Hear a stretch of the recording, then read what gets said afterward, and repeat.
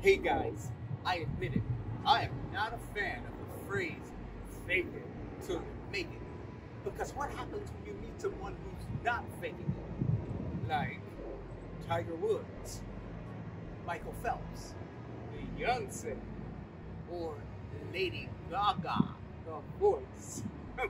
so I decided to create a new phrase. And my phrase is shake it till you make it. Because sometimes in life, things will not go the way you want them to. So it's up to you to shake, hey, hey, hey, what your mama gave you. Meaning, shake things up. Here we go. Right, left, right, left, right, left, right, left. Shake it, shake it, shake it, shake it, shake it, shake it, shake it, shake. I'm not asking you to read my lips. I want you to do this workout with me and read my hips. Are you ready?